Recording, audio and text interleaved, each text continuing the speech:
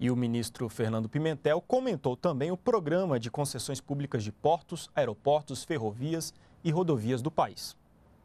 É o maior é, programa de concessões públicas da história do Brasil. Nunca houve um programa tão, tão grande, né, com portos, aeroportos, ferrovias, rodovias.